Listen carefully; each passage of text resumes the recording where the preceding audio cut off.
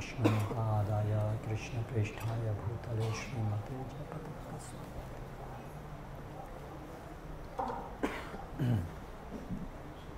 ॐ नमो भगवते वासुदेवाय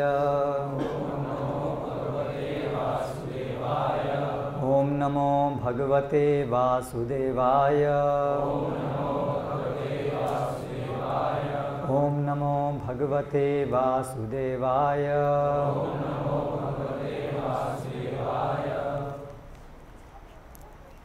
आज हमारा विषय है चंद्रयान श्रीमद् भगवद गीता के परिप्रेक्ष्य से। तो इस विषय के ऊपर चर्चा करने के लिए हम श्रीमद् भगवद गीता यथारूप के अध्याय नौ, जिसका शीर्षक है परम गुह्य ज्ञान। श्लोक क्रमांक,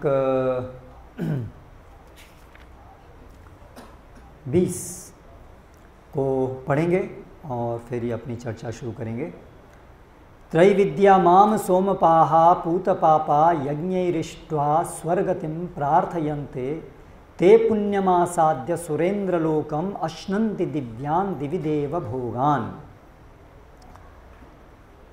अनुवाद और तात्पर्य द्वारा कृष्ण कृपा मूर्ति श्री श्रीमद अभय चरणारविंद भक्ति वेदांत स्वामी श्री प्रभुपाद इस्कॉन के संस्थापकाचार्य। जो वेदों का अध्ययन करते तथा सोमरस का पान करते हैं, वे स्वर्ग प्राप्ति की गवेषणा करते हुए अप्रत्यक्ष रूप से मेरी पूजा करते हैं। वे पाप कर्मों से शुद्ध होकर इंद्र के पवित्र स्वर्गिक धाम में जन्म लेते हैं, जहाँ वे देवताओं का सा आनंद भोगते हैं। तात्पर्य में श्री प्रभुपाद इसकी व्याख्या करते हुए कहते हैं, त्रैविद्या शब्द तीन वेदों, साम, यजुः तथा ऋग्वेद का सूचक है। जिस ब्राह्मण ने इन तीनों वेदों का अध्ययन किया है, वह त्रिवेदी कहलाता है, जो इन तीनों वेदों से प्राप्त ज्ञान के प्रति आसक्त रहता है। उसका समाज में आदर होता है। दुर्भाग्यवश वेदों के ऐसे अनेक पंडित हैं जो उनके अध्ययन के चरम लक्ष्य को नहीं समझते। इसीलिए कृष्ण अपने को त्रिवेदियों के लिए परम लक्ष्य घोषित करते हैं। वास्तविक त्रिवेदी भगवान के चरण कमलों की शरण ग्रहण करते हैं और भगवान को प्रसन्न करने के लिए उनकी शुद्ध भक्ति करते हैं। भक्ति का सूत्रपात हरे कृष्ण मंत्र के कीर्तन तथा साथ साथ कृष्ण को वास्तव में समझने के प्रयास से होता है। दुर्भाग्यवश जो लोग वेदों के नाम मात्र के छात्र हैं, वे इंद्र तथा चंद्र जैसे विभिन्न देवों को आहुति प्रदान करने में रुचि लेते हैं। ऐसे प्रयत्न से विभिन्न देवों के उपासक निश्चित रूप से प्रकृति के निम्न गुणों के कलमत से शुद्ध हो जाते हैं। फलस्वरूप वे उच्चतर लोकों यथा महरलोक, जनलोक, तपलोक आदि को प्राप्त होते हैं। एक बार इन उच्च लोकों में पहुंचकर वहाँ इस लोक की तुलना में लाखों गुना अच्छी तरह इंद्रियों की तुष्टि की जा सकती है। ओम ज्ञानतिमिरान्धस्य ज्ञानञ्जनशलाकया चक्षुरुन्मीलितं येन तस्मै श्रीगुरवे नमः। श्रीचैतन्यमनोभीष्टं स्थापितं येन भूतले स्वयं रूपकदा मह्यं ददाति स्वपदान्तिकं वन्देऽहं श्रीगुरो श्रुतः श्रीगुरून् वैष्णवांश्च श्रीरूपं साग्रजातं सहगणरघुनाथान्वितं तं सजीवं साद्वैतं सावधूतं परिजनसहितं कृष्णचैतन्यदेवं श्रीराधाकृष्णपादान् सहगणललिता श्रीविशाखान्वितांश्च। जय श्रीकृष्ण चैतन्य प्रभुनित्यानन्द श्री अद्वैतगदाधर श्रीवासादि गौरभक्तवृन्द हरे कृष्णा हरे कृष्णा, कृष्ण कृष्ण, हरे हरे हरे राम हरे राम राम राम, हरे हरे। तो ये जो भगवत गीता का श्लोक हमने अभी पढ़ा, इसके अनुसार जो लोग इस मनुष्य जीवन में पुण्य कर्म करते हैं, पर्याप्त मात्रा में, वे लोग अगले जीवन में स्थानांतरित होते हैं उच्च लोगों को।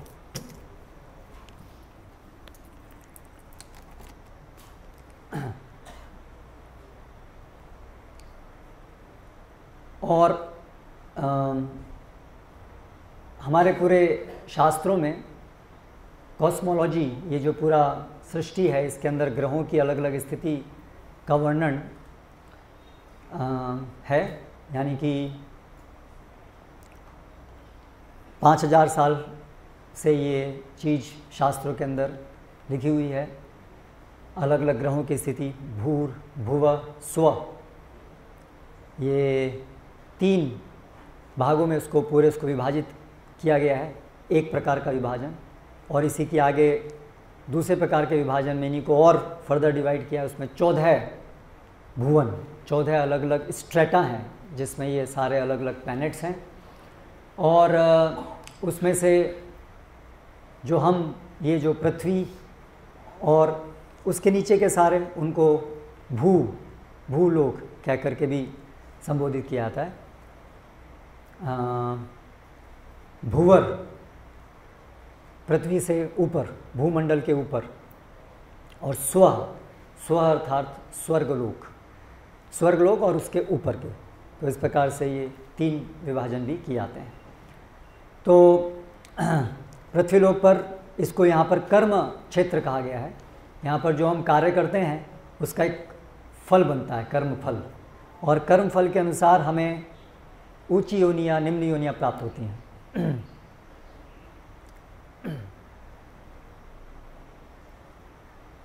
यदा सत्वे प्रलियंतु जो सत्वगुण में प्रयाण करते हैं, जो सत्वगुण में जीवन जीते हैं तो अमलान लोकान, अमल लोकों को प्राप्त होते हैं। ऐसा भगवत गीता में अठारहवें अध्याय बताया है। और जो पाप में कर्म करते हैं, वो निम्न लोकों को प्राप्त होते हैं, या इसी भूमंडल पर निम्न योनियों को प्राप्त होते हैं। और जो मिश्रित हैं, वो दोबारा मनुष्य योनि प्राप्त करते हैं इस लोक में। तो इस तरह से शास्त्रों में बार बार, हर जगह पर यही उल्लेख है कि अलग अलग लोकों में जो यात्रा है या हमारी जो स्थिति, हमारा जन्म जो है, उसमें हमारे कर्म फल के अनुसार ये होता है। और उस कर्म फल को भी स्पष्ट किया है। कौन से कर्म फल से क्या प्राप्त होता है? तो जो स्वर्ग लोक है, वहाँ पर जीवन का जो स्तर है भौतिक दृष्टि से बहुत सुखदायक है रिलेटिवली आयु बहुत बड़ी है। जैसे जो स्वर्गलोक में जो निवासी हैं, उनका जो एक दिन होता है वो हमारे यहाँ का एक साल के बराबर होता है। इसीलिए यहाँ पर छः महीना और छः महीना उनका दिन और छः महीना रात ऐसे दिन रात करके हमारा पूरा एक साल होता है। तो वहाँ पर जो है आ, समय की गणना अलग प्रकार से चलती है यहाँ की तुलना में। वहाँ समय धीरे चलता है जितना हम ऊपर जाते हैं समय धीरे चलता है। आज ये बात विज्ञान के द्वारा भी कुछ हद तक समझी आती है कि समय एक जैसा नहीं है। समय रिलेटिव है। समय एब्सोल्यूट नहीं है है ना? तो एनीवे anyway, आइंस्टीन के समय से शॉर्डिंजर उनके टाइम से ये कंसेप्ट कुछ प्रचलन में आया साइंस के अंदर लेकिन शास्त्रों में ऐसे बहुत सारे उल्लेख हैं कि आ, एक महाराज वो राजा आ, अपने पुण्य बल से गए ऊँचे लोगों में और वहाँ पर कुछ प्रार्थना की कि मुझे ये प्राप्त हो। तो वहाँ उनको बताया गया कि क्या प्राप्त हो? आप जाएँगे तो वहाँ तो लाखों साल बीत चुके हैं। आप जो सोच रहे हैं मुझे ये प्राप्त हो वो पूरी सिचुएशन ही बदल गई है। मेरी पुत्री का विवाह इनके साथ हो। अरे भाई अभी ना जमाई रहा ना पुत्री रहा दोनों के दोनों चले गए लाखों साल बीत गए उस चीज़ को। तो इस प्रकार से बहुत सारे वृत्तांत हमें देखने को मिलते हैं। तो अभी जब चंद्रायन या ऐसे मनुष्यों के जो प्रयास हैं उच्च ग्रहों पर जाने के वो पिछले आज कोई पहली बार नहीं हुआ है। पिछले आ, कम से कम भी पचास साल से साठ साल से ये प्रयास चल रहे हैं। और एक बार ऐसा हुआ कि मनुष्य भी गया, ऐसा बताया गया हमें, और हम लोगों ने, हमने से कई लोगों ने उसको स्वीकार किया होगा। और उसके बाद में फिर यंत्रों को भेजते भेजा और अभी भारत ने भी भेजा। तो प्रश्न यहाँ पर ये उठता है कि यदि केवल पुण्यशाली लोग ही चंद्र ग्रह पर जा सकते हैं।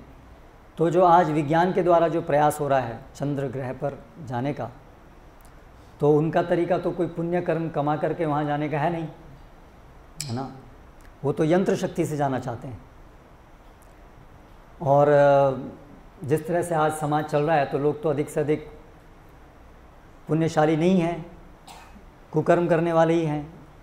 और हम वैज्ञानिकों को अलग कुछ दोष नहीं देना चाहते, लेकिन वैज्ञानिक भी क्योंकि इस भौतिक जगत के आधुनिक समय के ही भाग हैं तो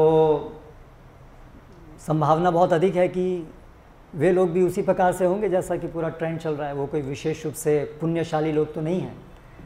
तो फिर जो पहले गए थे नील एमस्ट्रॉन्ग गए थे पाश्चात्य जगत में, जन जनरली पाश्चात्य जगत के लोग तो पुण्य और इस सब चीज़ों में उनकी धारणा भी उतनी नहीं होती है। तो फिर वो कैसे जा पाए?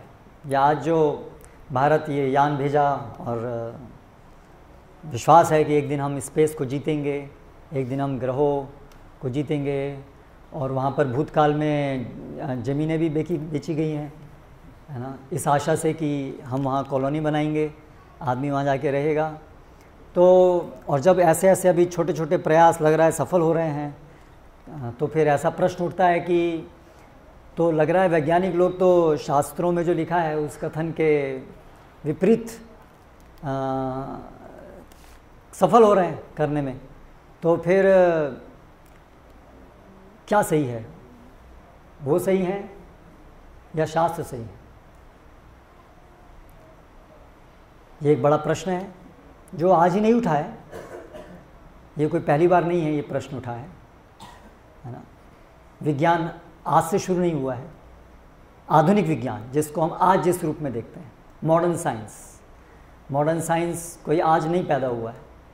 मॉडर्न साइंस की अगर आप हिस्ट्री देखें आ, तो वो सत्रहवीं शताब्दी के अंदर अलग अलग रेनेसेंस युग से उसके बीज डले और फिर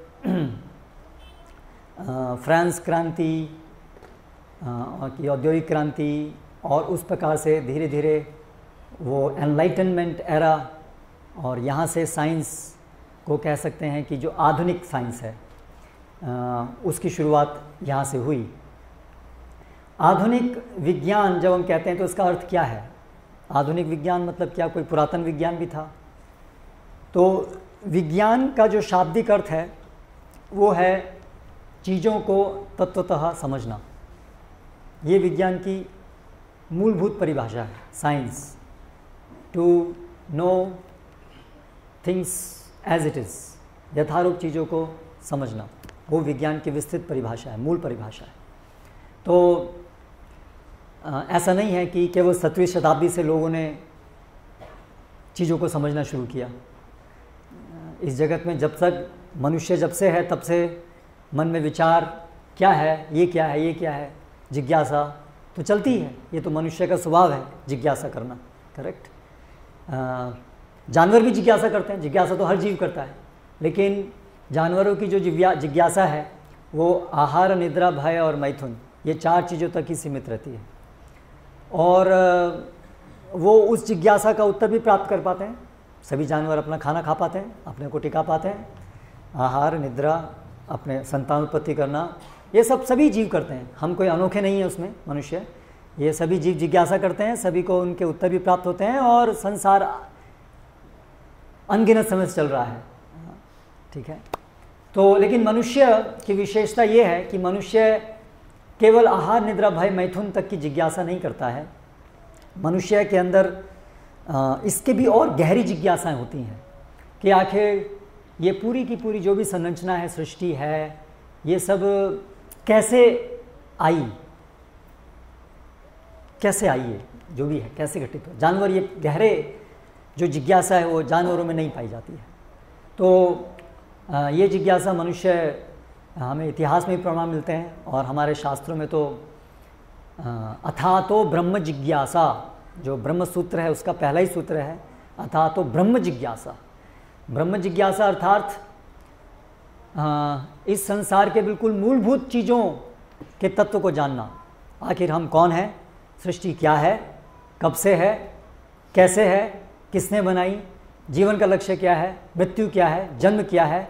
ऐसे सब आधारभूत प्रश्नों की जिज्ञासा उसको ब्रह्म जिज्ञासा कहते हैं। और ये जिज्ञासा उपनिषद जो हैं, ये इनका स्टार्टिंग पॉइंट है। हमारे शास्त्रों के अलग अलग विभाग हैं, उसमें से जो ज्ञान के अलग अलग स्तर पे ये विभाग हैं और उसका जो सबसे सर्वश्रेष्ठ विभाग है, जिसको ज्ञान कांड कहते हैं, जो उपनिषदों के द्वारा अभिव्यक्त होता है, उसका प्रथम एंट्रेंस है ये ब्रह्म जिज्ञासा। तो इसलिए शास्त्रों में ये जो जिज्ञासा है, ये हमेशा से रही है और इतिहास की दृष्टि से देखें मॉडर्न हिस्ट्री की दृष्टि से तो भी सैकड़ों सालों से जिज्ञासा चल रही है। प्लेटो एरिस्टोटल दार्शनिक गण अलग अलग प्रकार से ये प्रश्न करते आए हैं। तो लेकिन मॉडर्न साइंस जब हम बोलते हैं तो वहाँ से एक ऐसा समय आरंभ हुआ जब इस विचारधारा ने ज़ोर पकड़ा कि सींग इज़ बिलीविंग जो हम अपनी इंद्रियों से अनुभव करते हैं, वही सत्य है। उसी को सत्य के रूप में स्वीकार किया जा सकता है। जो भी चीज़ सत्य है जो भी चीज़ सत्य है, वो हम हमारी इंद्रियों से अनुभव कर सकते हैं। ये एक विचार को सत्य के रूप में ग्रहण किया गया। मॉडर्न साइंस, जैसा शायद आप जानते ही होंगे, कुछ फंडामेंटल प्री सपोजिशंस के ऊपर आधारित है, जिसको एक्जियोम्स कहते हैं, पूर्वानुमानित विचार कहते हैं।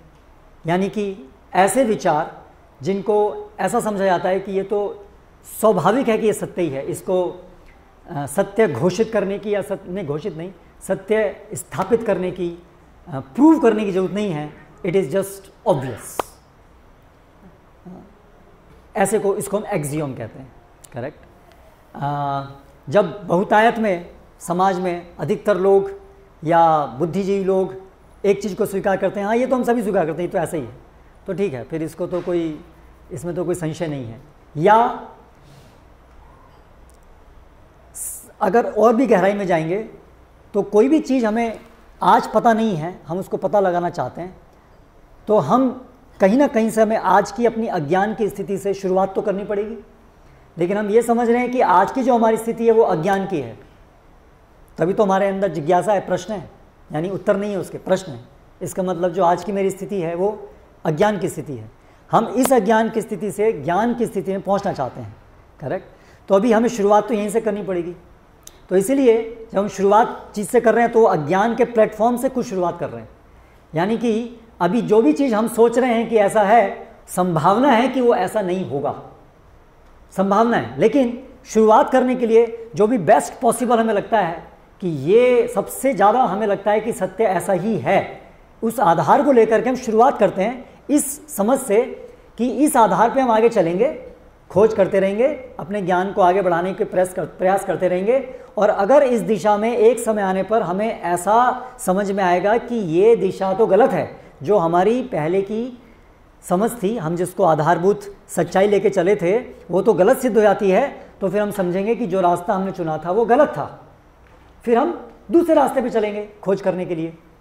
साइंस इस तरह से कार्य करती है। शुरुआत से तुमको नहीं पता है कि जिस रास्ते में चल रहे हैं वो सही होगा कि नहीं होगा, लेकिन कहीं ना कहीं शुरुआत तो करनी है। तो इसीलिए कुछ प्रिजम्पन्स लेके ही चला जाता है। ये साइंस का प्रोसेस है, क्योंकि ये आरोह पंथ है। इसमें हम अभी अपनी वर्तमान स्थिति से, अज्ञानता की स्थिति से, अपने बलबूते पर सत्य की स्थिति को, ज्ञान की स्थिति को समझने का प्रयास कर रहे हैं। तो इसलिए इसके अंदर इसी प्रकार से कार्य होगा कि हम ट्राई करेंगे। Trial and error trial and error हम ट्राई करेंगे, ऐसा चलने का प्रयास करेंगे, और अगर हमें किसी भी समय ये स्पष्ट हो जाएगा कि ऐसा नहीं है, जो हम सोच रहे थे वो गलत है, वो गलत सिद्ध हो गया तो हम उस रास्ते को चेंज करेंगे, फिर हम दूसरा ट्राई करेंगे। ऐसे ट्राई करते जाएँगे करते जाएँगे करते जाएँगे जब तक हमें सत्य प्राप्त नहीं होगा। ये साइंस की बेसिक्स है। लेकिन रियलिटी में क्या ऐसा हो रहा है?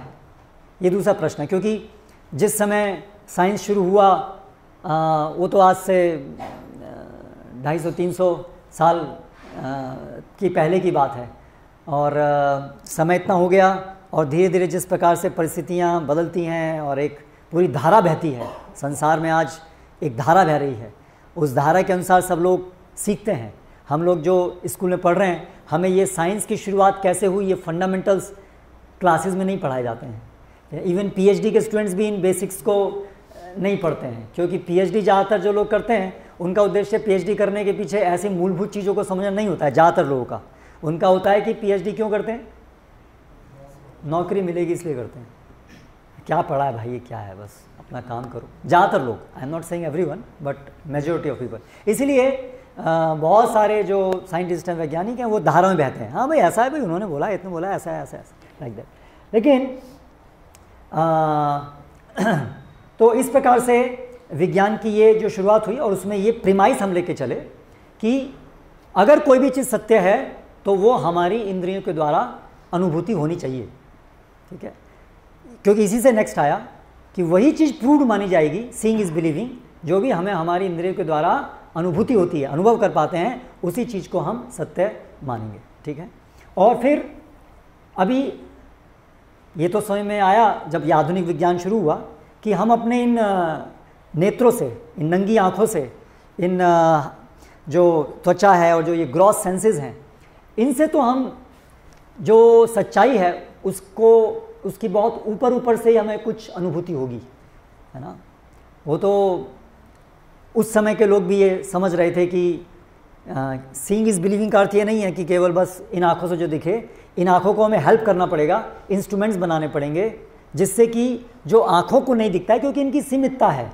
तो लेकिन इनकी सीमितता को हम, इनकी सीमाओं को हम बढ़ा सकते हैं। इंद्रियों की सीमाओं को हम बढ़ा सकते हैं।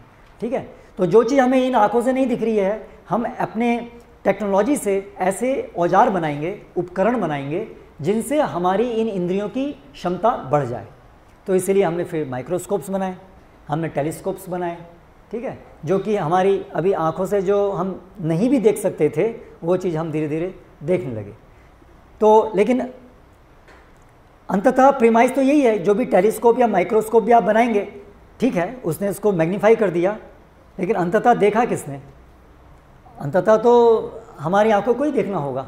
तो इसीलिए, इसलिए उसको बोलते हैं उपकरण। करण मतलब सेंस ऑर्गन्स और उपकरण मतलब जो उसको हेल्प करते हैं। सो so अल्टीमेटली जो भी विज्ञान बना रहा है, उपकरण है वो वो हमारी करणों को हेल्प करने के लिए, वो रिप्लेस नहीं कर सकते हैं उसको। उसको रिप्लेस नहीं कर सकते हैं, केवल हेल्प कर सकते हैं। अल्टीमेटली तो हम डिपेंड करते हैं हमारी इन इंद्रियों के ऊपर ही, ठीक है? तो इस प्रकार से बहुत सारी प्रोग्रेस हुई। साइंस में बहुत सारे उपकरण बनाए गए, उनसे बहुत सारी ऐसी चीज़ें थी, जो नई नई चीज़ें आविष्कार हुए और उसके आधार पर अलग अलग यंत्र बने फोर स्ट्रोक इंजन्स बने इलेक्ट्रिसिटी बहुत magnetic force electric force so many forces इन सब का धीरे धीरे पता चला, आविष्कार हुआ और इसके बेस पर अलग अलग इंस्ट्रूमेंट्स यंत्र बने, इत्यादि और हम देख रहे हैं जहाँ पर हम हैं पिछले ढाई सौ साल से इस प्रकार से प्रगति का दौर चल रहा है। तो इसलिए जो आधुनिक विज्ञान जो हम कहते हैं तो उसका ये बेसिक प्रमाइस होता है कि हमारी इंद्रियाँ जो हैं, उससे हम सब कुछ देख सकते हैं और जब तक कोई चीज़ हमारी इंद्रियों को अनुभूति नहीं होगी, तब तक वो चीज़ फैक्ट नहीं माना जाएगा। वो चीज़ फैक्ट नहीं माना जाएगा। लेकिन पिछले लगभग साठ सत्तर साल में विज्ञान की इस दिशा में भी बहुत बड़ा परिवर्तन आया साठ सत्तर साल से भी और थोड़ा पहले से लें लगभग सौ एक साल से आप कह सकते हैं। आ, क्या परिवर्तन आया?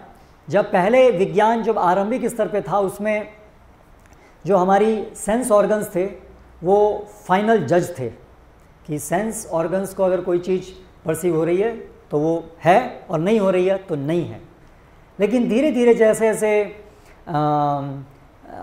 वैज्ञानिक उन्हें अलग अलग शोध की और मैथमेटिक्स और फिज़िक्स, थ्योरेटिकल फ़िज़िक्स, उसकी समझ और गहरी हुई तो धीरे धीरे इस प्रकार से वैज्ञानिकों का विचार बना कि एक्चुअली ऐसी बहुत सारी चीज़ें हैं जो मैथमेटिकली मैथमेटिकल थ्योरम्स हैं. मैथमेटिक्स वर्क्स इस संसार के अंदर mathematics is based on logic so तो लॉजिक इज़ वर्किंग मैथमेटिकली कोई थ्योरम है. It is a mathematically proved theorem यानी लॉजिकली इट इज़ राइट लेकिन हमारे सेंस परसेप्शन या जो भी हम यंत्र बना रहे हैं, उनकी पहुँच के बाहर है और उनकी पहुँच में कभी आने वाली भी नहीं है. लेकिन क्योंकि वो लॉजिकल है मैथमेटिकली करेक्ट है तो still it is considered as science part of science next इस स्टेज में हम आए, है ना? और इसी के कारण बहुत सारी ऐसी आज हम ऐसे यंत्रों में ऐसी चीज़ों का इस्तेमाल करते हैं, ऐसे थ्योरम्स का, जो मैथमेटिकल बेसिस पर ही हैं, जिनका कोई हमारी इंद्रियों के द्वारा प्रमाण नहीं है बट फंक्शनैलिटी उपयोग दिख रहा है and it is used specially आप देखिए, अगर मैं एक उदाहरण यहाँ पर दूँ तो न्यूटन के टाइम में जो फिज़िक्स थी न्यूटन ने बहुत बड़ा वैज्ञानिकों के बीच में एक महान कार्य किया था। आप जानते ही हैं, पूरी जो इस संसार के बारे में जो समझ है हमारी, उसको एक बहुत नया पहलू, आयाम दिया था, है ना? तो न्यूटन ने कहा कि टाइम जो है वो एब्सोल्यूट है। टाइम जो है वो एब्सोल्यूट है। जो हमारे यहाँ पर है टाइम पूरी सृष्टि के अंदर टाइम वैसा ही है। टाइम इज़ एब्सोल्यूट ठीक है? और इस बेस पर मोशंस की थ्योरीज़ डेवलप हुई और आ, आ, कोई भी चीज़ को एक मोमेंटम से फेंका जाए और कहाँ गिरेगा कितना स्पेस ट्रेवल करेगा ये सब चीज़ें। तो उसका एक बेसिक आधार था कि time is a constant element absolute element लेकिन धीरे धीरे धीरे जैसे जैसे और ऑब्जर्वेशंस आए तो उसके बाद धीरे धीरे जैसे हम ये क्वांटम की तरफ़ गए जहाँ पर विशेष रूप से सब एटॉमिक पार्टिकल्स का स्टडी हुआ और उनके ऊपर जो एक्सपेरिमेंट किए गए उनसे ऐसी ऐसी चीज़ें सामने आई जो कि चमत्कारी थी है ना? स्लिट एक्सपेरिमेंट्स हम करते हैं तो अगर एक आ, कोई विंडो स्लिट छोटी सी एक बहुत माइक्रोज एक स्लिट है उसमें से अगर बॉम्बार्ड करते हैं इलेक्ट्रॉन्स को तो मोशन थ्योरी के अनुसार तो they should just pass and just एक ही लाइन के अंदर आने चाहिए। लेकिन रियलिटी में ऐसा नहीं देखा गया। इट इज़ ये वेव की तरह से पैटर्न आ रहा था। ठीक है? वेव पैटर्न तो वहाँ से एक अजीबोगरीब चीज़ शुरू हुई कि ये जो है, जो पार्टिकल की हमारी जो समझ थी, है ना, कि एटम इलेक्ट्रॉन ये एक पार्टिकल्स हैं और पार्टिकल का मतलब उनकी स्पेसिफिक शेप है और कोई भी एक टाइम पर हम एग्जैक्टली exactly पता लगा सकते हैं कि ये पार्टिकल कहाँ पर है। तो जो पहले एटॉमिक मॉडल था, आपको पता होगा, उसमें एक न्यूक्लियस था। न्यूक्लियस के अंदर प्रोटॉन्स और न्यूट्रॉन्स हैं और इलेक्ट्रॉन्स जो हैं, उसके चारों तरफ़, आप देखेंगे हमारा न्यूटन फिजिक्स में एक ऐसे ऑर्बिट्स होते हैं करेक्ट यानी कि उनका फिक्स्ड ऑर्बिट है, ऐसे वो घूमते हैं करेक्ट लेकिन धीरे धीरे वो कंसेप्ट पूरा पता चला ये तो ऐसा नहीं है। These are not like fixed वो तो हम क्या फिर एक आप डायग्राम सा देखेंगे तो एक न्यूक्लियस है उसके चारों तरफ़ ऐसे स्पेसिस हैं एरियाज़ सो so, हम लोग केवल प्रोबेबिलिटी बता सकते हैं कि ये इलेक्ट्रॉन की इस स्पेस में होने की प्रोबेबिलिटी इतनी है। है ना? सो हिजनबर्ग अनसर्टेनिटी प्रिंसिपल आ गया कि we cannot at the same time exactly define the space and velocity of a particle क्योंकि लाइक like दैट क्योंकि सब एटॉमिक पार्टिकल हैं लाइट की वो रे भी वहाँ तक जाती है तो डिस्प्लेसेस है ना? तो इस तरह से धीरे धीरे और फिर आइंस्टाइन ने बोला कि ये स्पेस टाइम ये तो आपस में इंटरव्यूवन है। इट्स जस्ट वन एंटिटी है ना? नॉर्मली हम क्या नॉर्मली हम क्या समझते हैं कि एक स्पेस है लेंथ ब्रेथ हाइट और टाइम है। दोनों का आपस में दोनों एक एक ही चीज़ नहीं है, दोनों अलग अलग डायमेंशन है। बट आइंस्टाइन के अनुसार इट्स जस्ट वन थिंग और उसके अनुसार फिर बहुत सारे हाइपोथेसिस आ गई we can go back also जैसे स्पेस में हम आगे पीछे आते हैं तो स्पेस टाइम एक ही है so we can go back in the time we can go in the front तो इस तरह से साइंस फिक्शन शुरू हुआ। What will happen if scientist one day will be able to go back है ना? तो बैक मतलब मान लीजिए हम पीछे गए टाइम क्या टाइम के आधार पे हम पीछे चलने लगे। मान लीजिए हम अपनी बर्थ से पहले चले गए and we meet our father है? सो क्या होगा? वी मीट अवर फादर जब हमारा जन्म नहीं हुआ था, तब we meet our father so how is it possible भाई फादर हैं मतलब जब हमको जन्म दिया तभी उनकी डेफिनेशन हुई father correct and we cross that limit तो ऐसी बहुत सारी ऐसी चीज़ें जो mathematically and it seems possible लेकिन उसका व्यवहारिकता से कोई संबंध नहीं समझ पा रहे हैं। ऐसी बहुत सारी चीज़ें सो so, धीरे धीरे हमारी जो जीन की अंडरस्टैंडिंग थी जीन पहले तो अंडरस्टैंडिंग एक थी कि जीन जैसी कोई चीज़ नहीं पता थी। डार्विन जब जिस समय था उस समय जेनेटिक्स नहीं था। फिर जेनेटिक्स आया जीन अंडरस्टैंडिंग आई जीन्स इज़ अ बॉडी उसके अंदर इतने क्रोमोसोम हैं उसका स्पेसिफिक स्थान है। अभी धीरे धीरे वो इस प्रकार से जीन का कोई ऐसा स्पेसिफिक स्थान नहीं है। आ, फिर उसमें शब्द आए क्या है? हॉपिंग जीन्स अगर आप बायोलॉजी पढ़ेंगे genes they hop from one place to another like that so point ये है कि मॉडर्न uh, साइंस का जो प्रिमाइस है कि हम सेंस ऑर्गन से अपनी सेंसेस से हर चीज़ जानते हैं। वो आज साइंस के अंदर भी आ, हम ऐसी स्थिति में आ गए हैं जहाँ पर कि हम सेंसेस से सब कुछ जान सकते हैं। दैट इज़ एक्सेप्टेड कि इट इज़ नॉट साइंटिफिक इसी आधार पे आज जो हमारे यूनिवर्स की जो कैसे यूनिवर्स बना इसके बारे में जो थ्योरीज़ हैं अगर आप जानेंगे स्ट्रिंग थ्योरी है एम थ्योरी है तो उनकी बहुत सारी जो ये थ्योरीज जो क्वांटम फिज़िक्स के ऊपर आधारित हैं उसमें बहुत सारी ऐसी अंडरस्टैंडिंग है कि जैसे there are many dimensions possible mathematically है ना? हम स्पेस टाइम की बात कर रहे हैं और स्पेस में तीन डायमेंशन है लेंथ ब्रेथ एंड हाइट ठीक है? और फिर एक टाइम डायमेंशन है, ठीक है?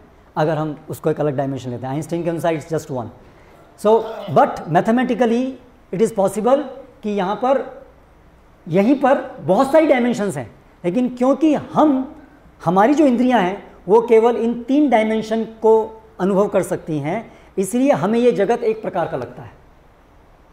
लेकिन मैथमेटिकली इट इज़ पॉसिबल कि यहीं पर एक और जगत भी है, अनगिनत जगत है यहीं पे ही। लेकिन हम किसको एक्सेस कर पा रहे हैं? Depending on our accessibility of our senses हम केवल एक जगत को में को अनुभव कर पा रहे हैं। लेकिन possibility is there right now here there exist many many universes multiple universes exist in different dimensions और हर यूनिवर्स के अंदर अलग अलग फ़िज़िकल कॉन्स्टेंट्स होंगे। क्योंकि ये जगत ऐसा क्यों है?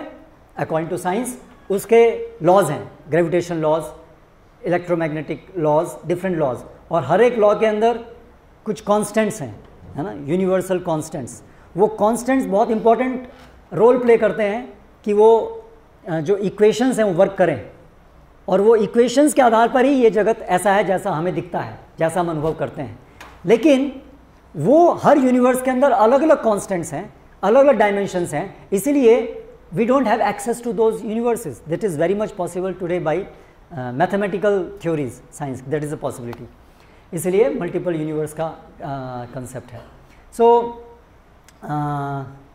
इस चीज़ से कम से कम एक ये चीज़ तो हम समझ सकते हैं कि मॉडर्न साइंस के ही रास्ते में चीज़ें जैसे जैसे हम डेवलपमेंट कर रहे हैं आ, बहुत सारे बड़े बड़े प्रश्न हमारे सामने हैं जो साइंस की प्रगति से उलझ रहे हैं।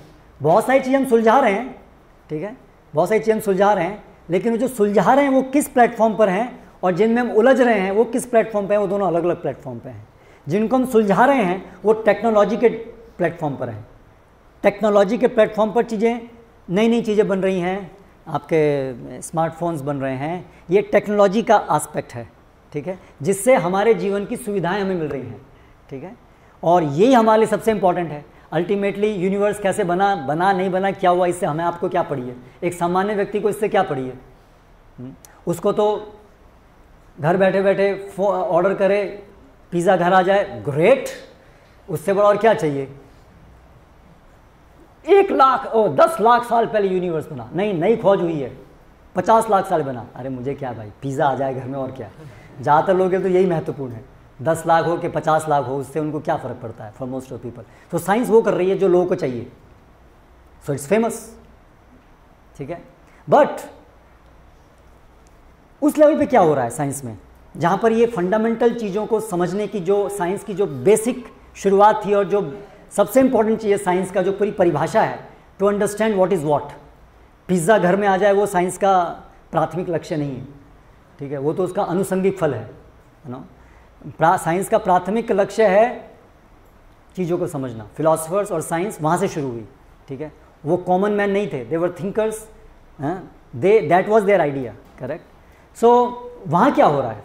सो देर आर बुक्स जैसे fire in equations you can see this book like that there hundreds of books जिसमें अगर आप हायर लेवल साइंस में जाएँगे तो आप देखेंगे कि साइंटिस्ट उस लेवल पर, जहाँ पर ये फंडामेंटल चीज़ों के बारे में चर्चाएँ चल रही हैं, वहाँ पर there is lots of confusion as we are advancing there is lots of confusion जैसे एक उदाहरण देता हूँ आपको। डार्क मास डार्क एनर्जी आप सबने सुना होगा। ठीक है? तो हम जो भी इस पूरे यूनिवर्स के अंदर सीइंग इज़ बिलीविंग यहाँ से शुरुआत की थी हमने। जो दिखता है, उस पर विश्वास करो। जो नहीं दिखता है, उस पर विश्वास मत करो। ठीक है?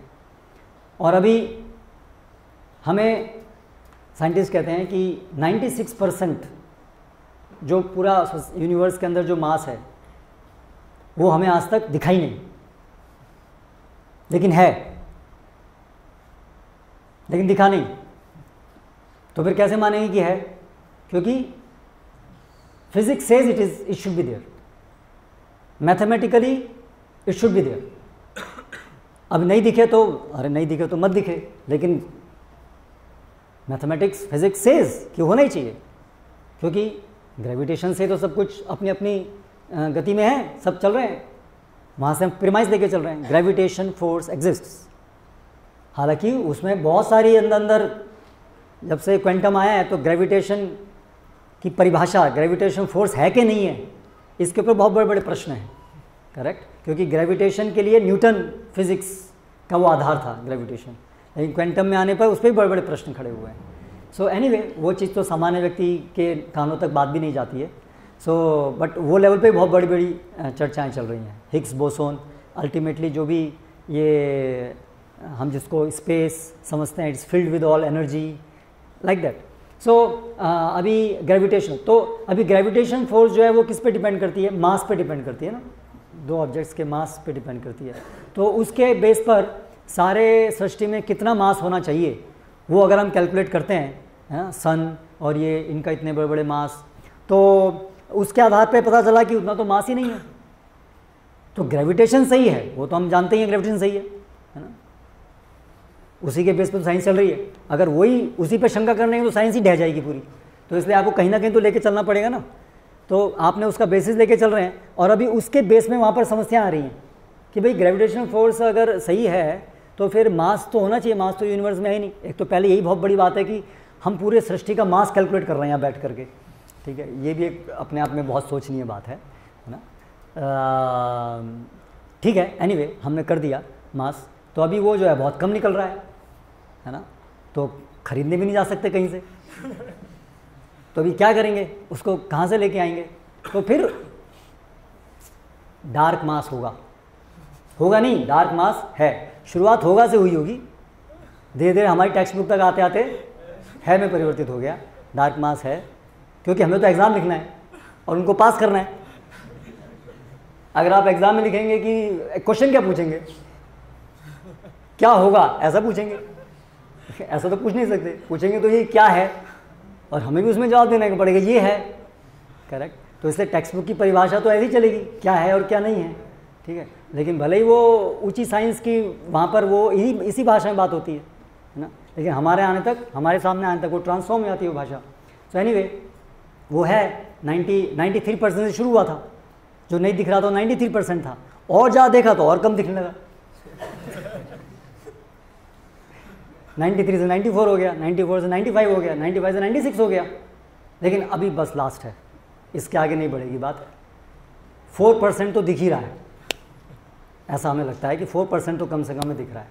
करेक्ट तो अभी जब केवल फोर परसेंट दिख रहा है तो कितनी श्योरिटी है कि हमने रियली कैलकुलेट किया है कि कितना हमें नहीं दिख रहा है?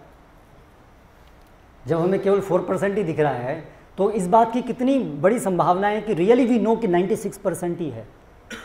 मेजोरिटी हमें दिख ही नहीं रहा है। मेजोरिटी के बारे में कुछ पता ही नहीं है है ना? हमारी साइंस हमारी सारी जितने भी दूरबीन इत्यादि जो भी है वो वहाँ जा, जाती है वहाँ जो भी लाइट रेज ही एब्जॉर्ब हो जाती है। तो क्या और क्या करें? इसलिए it it cannot be seen okay तो क्या उसमें एक्सपेरिमेंट करेंगे क्या करेंगे आप? ठीक है? तो अभी उसके बेस पर हम लोग इतना एक स्टेटमेंट दे रहे हैं कि चार परसेंट हमें पता है। एक्चुअली तो कथन ये होना चाहिए कि we are confuse we don't know what's going on we are bewildered as we are proceeding we are finding कि ये सब क्या कैलकुलेशन ऐसा दिखा रही हैं, हम ऐसा सोच के चल रहे हैं। ऑनेस्टली स्पीकिंग तो ये बात निकल के आनी चाहिए और ये बात केवल मैं नहीं बोल रहा हूँ, आप बड़े बड़े साइंटिस्ट बोल रहे हैं कि साइंस को ये बात स्वीकार करनी चाहिए कि we are confuse we are bewildered science एक प्रिमाइस लेकर चला था टेन एक्जियोम्स हैं, जो साइंस लेकर चला था, वो दस की दस एक्जियोम्स सबकी सबकी सब के सब पर्याप्त मात्रा में सबूत हैं कि ये जो हम प्रिजम्पन्स लेके चल रहे थे वो सही नहीं है। साइंटिफिकली वो सही नहीं है। लेकिन फिर भी क्यों साइंस उसको रिविजिट क्यों नहीं करती है? लेट्स एक्सेप्ट दैट ये एक्जियोम्स जो है वो हमने गलत सोची थी। Let's take some other direction लेकिन साइंस वो डायरेक्शन नहीं ले रही है। ठीक है? सो so, एक टेट uh, टॉक है uh, इसके ऊपर। uh, ये जो टेन की टेन प्रिजम्पन्स है बाई ए साइंटिस्ट कि how we have we know that these are not right but still हम उसमें अटैच हैं कि नहीं हमें तो इसी रास्ते पर जाना है। सो ब्लैक डार्क मैटर है डार्क एनर्जी है और uh, इसलिए इतनी सारी चीज़ें जो हम नहीं देखते हैं और uh, बहुत सारी ऐसी मैंने आपको न्यूटन का बताया टाइम एब्सोल्यूट था अभी रिलेटिव हो गया है। Uh, ऐसे ऐसे प्लानट थे जो दिखे और गायब हो गए ठीक है? ऐसी बहुत सारी चीज़ें हुई हैं पूरे हमारी साइंस की इस डेढ़ सौ ढाई सौ साल की हिस्ट्री के अंदर बहुत सारी चीज़ें हुई हैं जो हमने अपनी साइंस से प्रूव किया, ये है। और एक दशक बाद, दो दशक बाद वो हमें पता चला कि ये नहीं है है ना? ये हम गलत थे। और इसको हमने नाम देते हैं इम्प्रूवमेंट करेक्ट तो इससे एक चीज़ जो हम समझ सकते हैं कि जो हमारी प्रिजम्पशन थी और जो एक बहुत कॉमन सेंस भी है कि हमारी जो सेंस परसेप्शन है, वो परफेक्ट नहीं है। हमारी इंद्रियाँ परफेक्ट नहीं हैं। इस बात को तो स्वीकार करने में कोई बहुत बड़ा बड़ी साइंस नहीं चाहिए कि हमारी सेंसेस इम्परफेक्ट हैं। हमारी सेंस ऑर्गन्स डिपेंडेंट है ना बहुत सारी चीज़ों के ऊपर। लाइट के ऊपर डिपेंडेंट है, आँख। है कि नहीं है? है ना? आपकी आँख कितनी भी अच्छी हो, लेकिन अगर ये कलर बदल जाए लाइट का तो आपका परसेप्शन बदल जाएगा। ठीक है? उसी प्रकार से चीज़ कितनी पास है, कितनी दूर है बहुत ज़्यादा पास है तो भी आप उसको नहीं देख पाएँगे, बहुत दूर है तो भी नहीं देख पाएँगे, बहुत छोटी है तो भी नहीं देख पाएँगे, बहुत बड़ी है तो भी नहीं देख पाएँगे। ऐसे हर एक सेंस ऑर्गन के बारे में तो इसके लिए कोई बहुत बड़ा साइंस नहीं चाहिए कि हमारी सेंसेस इम्परफेक्ट हैं, ठीक है? और हम कितना भी उपकरण बना लें, लेकिन क्योंकि अल्टीमेटली तो हमें हमारी इंद्रियों से ही देखना है तो अगर हम अपनी इंद्रियों को बेस बना के चलते हैं तो वो तो इम्परफेक्ट हैं। तो ये संभावना हमेशा रहेगी कि जो भी हम अपनी इंद्रियों से निष्कर्ष पे पहुँच रहे हैं कि मुझे ऐसा दिख रहा है। ज़रूरी नहीं है कि जो हम देख रहे हैं वो सही है। जैसे चीटी। चीटी इस समय यहाँ पर चल रही है, इस डेस्क के ऊपर। ऐसे बहुत सारे प्राणी हैं जिनको टू डायमेंशन दिखती हैं, तीन डायमेंशन नहीं दिखती हैं। आप जानते हैं? आँखों में हमारी आँखें तीन डायमेंशन दिखती हैं, लेकिन ऐसे जानवर हैं जो टू डायमेंशन दिखते हैं, केवल length and breadth that's all और वो भी जीते हैं। वो भी खाते हैं। वो भी आ, अपना अनुमान लगाते हैं खाना यहाँ है। उनके पास सफिशेंट सेंस परसेप्शन है उनको जीने के लिए और बहुत सारी चीज़ें करने के लिए। लेकिन फिर भी उनका जो सेंस परसेप्शन है वो हम क्योंकि तीन डायमेंशन को देख सकते हैं हम समझ सकते हैं वो हमसे ज़्यादा इम्परफेक्ट है। ठीक है? वो तो केवल लेंथ ब्रेथ देख सकते हैं हम तो हाइट भी देख सकते हैं। ठीक है?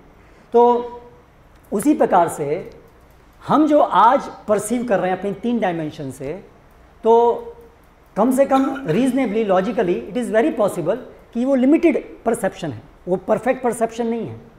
वो लिमिटेड परसेप्शन है। जैसे चीटी का परसेप्शन एक लिमिटेड परसेप्शन है उसके सेंस ऑर्गन्स के अंतर्गत, उसी प्रकार से हमारा भी एक लिमिटेड परसेप्शन है। ठीक है? ये ये एक बहुत सरल लॉजिक है। तो इसीलिए सीइंग इज़ बिलीविंग ना साइंस आज एडवांस साइंस इस बात को स्वीकार करती है और ये कॉमन सेंस की चीज़ भी है। तो फिर प्रश्न ये उठता है तो फिर अगर हमें इस पूरे ब्रह्मांड की सच्चाई को जानना है, यहाँ बात फ़ोन करके पिज़्ज़ा मंगाने की नहीं हो रही है, इतना छोटा प्रश्न नहीं है, जो एक सामान्य व्यक्ति के लिए बहुत बड़ा बात है, अरे साइंटिस्ट ने क्या कर दिया घर बैठ के पिज़्ज़ा आ गया। Actually it is nothing compare to this question how universe came into existence ये बहुत बड़ा प्रश्न है, और ये जो प्रश्न है, ये विज्ञान के सामने 300 साल पहले जितना बड़ा था, आज शायद और ज़्यादा बड़ा प्रश्न बन गया है। पहले जो संभावना थी साइंस के द्वारा कि इस प्रश्न का सरल उत्तर होगा, आज वो सरल नहीं रह गया है, साइंस के अनुसार। कॉम्प्लिकेटेड हो गया है। जैसे सेल, एक कोशिका बायोलॉजी के अंदर। जब सिंपल माइक्रोस्कोप्स बने थे पहले के, उस समय एक सेल हाँ दिख गया सेल ओ ये इसका बना हुआ खाल, अपनी स्किन, इसको देखा एक्सपेंड करके मैग्नीफिक, मैग्नीफाई किया, और वहाँ से हमें सेल्स दिखे hexagonal cell structure okay simple उसके अंदर क्या है? कुछ प्लाज्मा भरा हुआ है। ओह so simple very nice this is what this body is made up of science कुछ साल के अंदर जीवन के रहस्य को सुलझा देगी। ऐसे कितने स्टेटमेंट आके चले गए? करेक्ट इस प्रकार के स्टेटमेंट्स की अभी आ, बस 10 साल के अंदर ये पूरा यूनिवर्स कैसे बना कैसे काम कर रहा है इस सब के इक्वेशन आ जाएगी। फिर टी शर्ट पहन करके सब लोग इक्वेशन पहन के घूम सकते हैं। मतलब हमें बहुत बार ऐसा लगा कि वी आर जस्ट देयर बस, सारी रिडल सॉल्व होने वाली है अभी। सब पता चलने वाला है। जीवन क्या है क्या है? लेकिन और थोड़ा नज़दीक आते हैं। ऐसी कोई इन्वेंशन होती है, ऐसी कोई चीज़ सामने आती है, लगता है जो भी हम सोच रहे थे, सब गलत सोच रहे थे। ना? फिर सब कन्फ्यूज़न अगेन तो अभी सेल अभी एक सेल जो है, ब्रह्मांड को नहीं समझ पाए उस प्रकार से हम आज सेल को भी नहीं समझ पाए। माइक्रोस्कोप कब आया था? आज उसकी जगह इलेक्ट्रॉन माइक्रोस्कोप भी आ गया। लेकिन जो सेल की जो स्ट्रक्चर है, जो सेल के अंदर मैकेनिज्म है वो तो कॉम्प्लिकेट कॉम्प्लिकेट कॉम्प्लिकेट अभी आज डी एन ए ओके उसका स्ट्रक्चर पता चला। और उसमें भी यही था। नाउ हमने अभी लाइफ की मिस्ट्री को सॉल्व कर दिया है। D N A is life हम तो यही सोचते हैं, हमें साइंटिस्ट हमको यही बताते हैं लाइफ क्या है? डी एन ए है। तो डी एन ए तो एक केमिकल है अल्टीमेटली अगर आप देखेंगे डी एन ए का structure it's is just chemicals carbon the is nitrogen और उसका एक स्ट्रक्चर है मॉलिकुलर स्ट्रक्चर है, और it's like so still what is consciousness what is love what is pain what is the आप कह सकते हैं डीएनए में हमने स्टडी किया है ये जीन से ये होता है। ठीक है? ये जीन से आदमी लंबा होता है ये जीन से आदमी छोटा होता है ये जीन से आ, काला होता है ये जीन से गोरा होता है। ओके लेकिन अल्टीमेटली जो अनुभव है अनुभव दुख का अनुभव है ना? वो केमिकल कैसे अनुभव करेगा? अल्टीमेटली चाहे आपका वो डीएनए है, चाहे कार्बन है, चाहे नाइट्रोजन बट अल्टीमेटली है तो केमिकल तो वो वाला, वो उसका आंसर अभी तक कहाँ गया कि अनुभव कौन करता है? एक्सपीरियंस कौन करता है? इच्छा शक्ति कहाँ आती है? वो तो आज आप चाहे डीएनए को स्टडी कर लीजिए डीएनए के अंदर इच्छा शक्ति को हम एक्सप्लेन नहीं कर सकते, उसके अंदर वो जो अनुभव करना है उसको एक्सप्लेन नहीं कर सकते. तो ये जो फंडामेंटल चीज़ें हैं, ये तो और ज़्यादा कन्फ्यूजिंग ही बनती जाने तो इसलिए हम लोग ये बोलने की जगह कि एक्चुअली वी आर बिविल्डर्ड हम लोग केवल इस तरह से बोलते रहते हैं। तो जो हमारी सेंस परसेप्शन जो भी है सेंसेस इम्परफेक्ट हैं, ये बात हमें समझनी चाहिए। तो फिर यहाँ से प्रश्न उठा तो अभी हमें सच्चाई तो जाननी चाहिए ना? करेक्ट सच्चाई जानने की इच्छा सब में होती है कि नहीं होती है? ये कॉमन है। हर एक, हर जीव में सच्चाई जानने की इच्छा है, ठीक है? और दूसरी है, हर जीव में सुखी रहने की इच्छा है। और हर जीव में नित्य बने रहने की इच्छा है। ये कॉमन है, सब जीवों में, ये तीन चीज़। इसी को शास्त्रों में कहा गया है सत्य चित्त आनंद ये फंडामेंटल ऑब्जर्वेशन है, हर जीव के अंदर इच्छा है। इसलिए हम इग्नोरेंस में रह नहीं सकते नॉट सेटिस्फाई सेटिस्फाई जानने की इच्छा हमारे अंदर होगी ही होगी। जिज्ञासा होना स्वाभाविक है। और ऐसी जिज्ञासा होनी चाहिए, जिज्ञासा के पीछे हेतु क्या है? We should be happy perfectly happy second important हमारी आवश्यकता है। और तीसरी चीज़ है we should not experience death हम नहीं चाहते मरना। ये हमारी मूलभूत चीज़ें हैं। तो अंततः हमें, ठीक है सेंस परसेप्शन परफेक्ट नहीं है। इसके द्वारा हम नहीं जान सकते हैं। सच्चाई। ये चीज़ पहले हमें समझ में आनी चाहिए कि सेंस परसेप्शन से कभी भी हम अपना खाना कहाँ है, कैसे जॉब करना है, कैसे पैसा कमाना है, ये आप सेंस परसेप्शन से कर सकते हैं। लेकिन फंडामेंटल जो ट्रुथ है, पूरे विश्व की, पूरी सृष्टि की, इसको सेंस परसेप्शन से हम कभी नहीं जान सकते हैं, क्योंकि हम परफेक्ट चीज़ को इम्परफेक्ट चीज़ से नहीं जान सकते हैं। हम परफेक्ट चीज़ को इम्परफेक्ट चीज़ से नहीं जान सकते हैं। इसलिए पहले ये चीज़ हमें समझनी होगी कि ये जो हमारा सेंस परसेप्शन के थ्रू परफेक्ट चीज़ को जानने का तरीका, ये तरीका ही गलत है। और इसीलिए 300 साल के बाद अगर आप रियलिटी में जाएँगे तो हम ज़्यादा कन्फ्यूज़ हुए हैं। सच्चाई को परम सत्य को जानने में हम ज़्यादा कन्फ्यूज़ हुए हैं। क्योंकि तरीका गलत है। तरीका इम्परफेक्ट सेंस ऑर्गन से हम परफेक्ट चीज़ को जानने का प्रयास कर रहे हैं। तो फिर प्रश्न आगे ये उठता है तो आ, कोई और तरीका क्या है? ठीक है? तो आ, दूसरा तरीका कुछ है कि नहीं है? लाइक like दैट तो अभी हमें शास्त्र ये उद्घोषणा करते हैं कि यस सेंस परसेप्शन ही एकमात्र चीज़ों को जानने का तरीका नहीं है और दूसरे तरीके भी हैं चीज़ों को जानने के क्योंकि ये सेंसेस इम्परफेक्ट है इस तरीके से केवल सेंसेस से हम नहीं जान सकते। वो तरीका क्या है? एसेंस में वो तरीका है आ, एक बेसिक यहाँ पर भी हम एक प्रीमाइज से शुरू करेंगे क्योंकि शुरुआत हमें अपने से करनी पड़ेगी। ठीक है? एग्जिस्टिंग प्लेटफॉर्म पे हम परफेक्ट चीज़ को अनुभव नहीं कर पाएँगे। हमें यहाँ से कहीं तो जाना होगा। लेकिन हम उस दिशा में जाएँगे जो रीजनेबल है, जो लॉजिकल है हमारे स्तर से, जिसमें प्रोसेस दिया गया है, यहाँ से आप परफेक्ट स्टेज में कैसे पहुँचेंगे और उसकी स्टेजेस दी हुई हो और जिसमें हम पता लगा सकें कि हम उस स्टेज का ये परिणाम होगा तो हम समझ सकें कि या it is a scientific process it works और धीरे धीरे उस पर चलते जाएँगे चलते जाएँगे। और अगर वो काम कर रहा है तो उसके हमें इंटरमीडिएट इफेक्ट्स परिणाम मिलते जाएँगे। And based on that we can go on on on on और कभी भी हमें रास्ते में लगेगा no this process is not working again we will stop it ठीक है? तो इसी तरह से है। तो शास्त्र जो है वो भी इसी प्रकार से कार्य करता है। कि शास्त्र में उद्घोषणा है कि ये सत्य है। हम्म, सृष्टि करता है? और सृष्टिकर्ता के वचन शास्त्रों में दिए गए हैं। लॉजिक है कि कोई भी चीज़ को परफेक्टली जानने का तरीका है, परफेक्ट सोर्स से उसको जानना। ठीक है? जैसे बच्चा अपनी, मेरी माँ कौन है, ये कैसे जानता है? माँ उसको बताती है, ये तरीका है। एक्सपेरिमेंट से नहीं जानता क्योंकि experiment is based on senses, है ना? मेरी नाक, इसकी नाक मेरी नाक से मिलती है, शायद ये मेरी माँ होगी। उस बेस पर हम अपनी माँ का पता नहीं लगा सकते हैं। ठीक है? तो जो जननी है क्योंकि वो जन्म देने वाली है by definition she is the one who gives birth तो इसलिए कम से कम ये विषय में कि बच्चे की जननी कौन है उसमें जिस प्रकार से एक जननी mother she is the source of perfect knowledge about the birth of that child because she is the one who gives birth ठीक है? तो आ, उसी आधार पे उसी लॉजिक के आधार पे ये सृष्टि, पहले एक प्रिमाइस है, कोई सृष्टि करता है। It's a premise it is not a prove fact yet ठीक है? But it's a possibility which is one of the possibility कोई पॉसिबिलिटी को लेने में तो कोई हारी नहीं है ना। पॉसिबिलिटी तो लेके चलेंगे हम कहीं ना कहीं। ठीक है? तो डरिए मत पॉसिबिलिटी लेके चल रहे हैं। That there is a creator हमने साइंस की पॉसिबिलिटी लेके चले देर इज़ नो क्रिएटर ठीक है? उसके रास्ते में चलते चलते चलते चलते चलते are finding so many problem so many difficulties not able to go had okay we should be open science के विद्यार्थी हैं let's also take into consideration other possibility there is a creator and let's see how far we can go ठीक है? हम blind नहीं हैं. हम blind faith नहीं करते हैं. किसी भी समय पे हम पता चलेगा कि ये गलत है. We will leave that path ठीक है?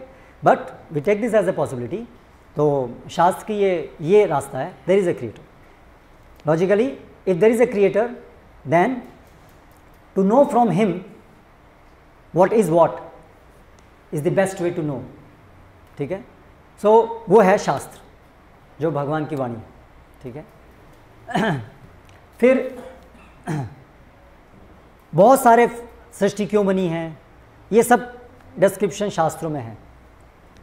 क्यों बनी? अगर आप उसको पढ़ेंगे it makes most possible sense amongst all the possible options जितने भी हमारे क्यों बनी है, क्या है आप अगर इसको पढ़ेंगे तो आप जानेंगे कि ये सबसे ज़्यादा रीजनेबल एक्सप्लेनेशन है। Explanation I am not saying it is a proof yet so don't be worried but it's a most reasonable explanation ठीक है? एक्सप्लेनेशन रीजनेबल है। Now shastra gives us a process by which we will be able to experience that absolute truth. भगवान yes ultimately हम क्या चाहते हैं? हम पूरी तरह से एक्सपीरियंस करें जो भी ट्रुथ है, तभी हम पूरी तरह संतुष्ट होंगे कि yes now we know the truth ठीक है? अल्टीमेटली हम यही चाहते हैं और अल्टीमेटली हमें यहाँ तक ही पहुँचना होगा। करेक्ट ना? अल्टीमेटली तो पूरी तरह से जो भी है unless we fully perceive it we we cannot say for sure that it is like that so वो हमारा अंतिम लक्ष्य होना ही चाहिए। लेकिन समस्या क्या है, जो हमारी वर्तमान जो परसेप्शन है इंद्रियों का, वो इंद्रियाँ इम्परफेक्ट हैं। तो इसीलिए प्रोसेस वही होना चाहिए कि एक लेवल पे हम परसीव करें पूरी तरह से। तो शास्त्र कहते हैं कि एक तरीका है, जिससे आप अपनी वर्तमान अपूर्ण इंद्रियों के दायरे से बाहर निकल करके आप पूर्ण इंद्रियों को प्राप्त कर पाएँगे। Imperfect senses से you will be able to, by this process, you will be able to attain perfect senses and by perfect senses पूर्ण इंद्रियों से आप परफेक्ट चीज़ को पूरी तरह से अनुभव कर पाएँगे। And then that will be obvious truth है ना? जैसे हमें जो चीज़ एक लिमिटेड परसेप्शन लिमिटेड स्फीयर के अंदर यस ये किताब है सामने लिमिटेड उसके अंदर दिख रही है तो है, ठीक है? तो अगर हमारी सेंसेस परफेक्ट हो जाएँ तो फिर उन परफेक्ट सेंसेस से हम परफेक्ट चीज़ को परसीव कर सकते हैं।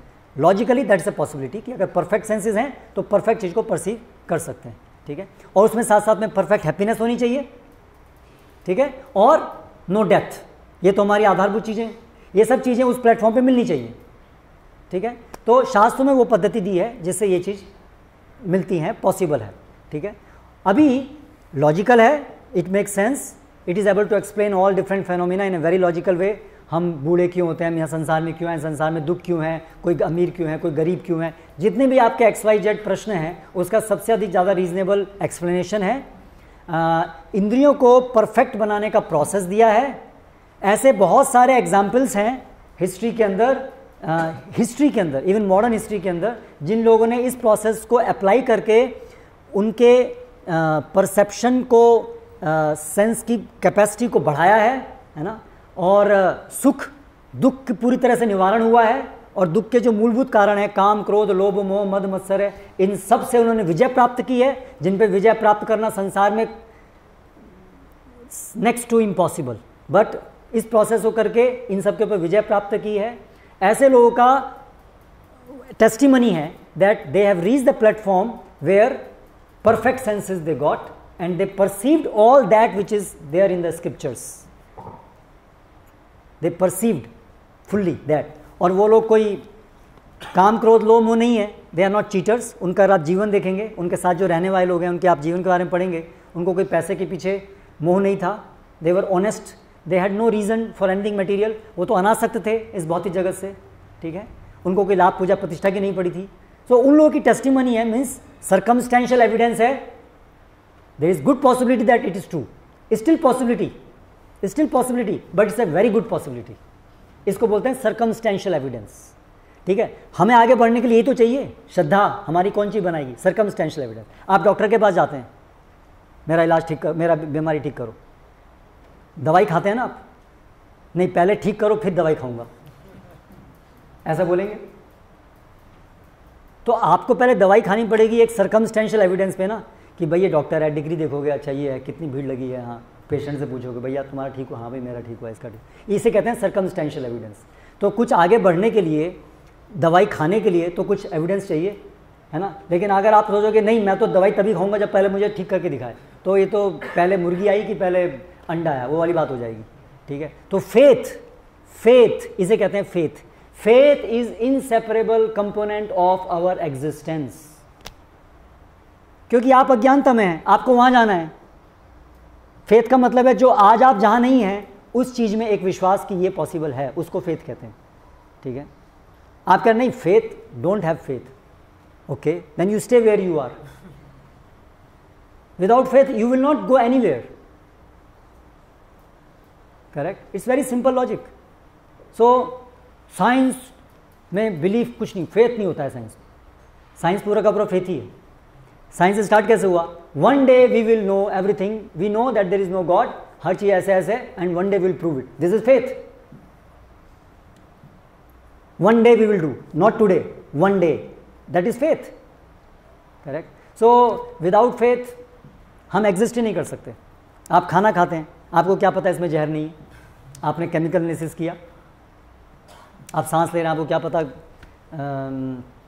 किसी दुश्मन ने गैस छोड़ दी कोई ऐसी जो कि जहरीली है? आपको क्या पता?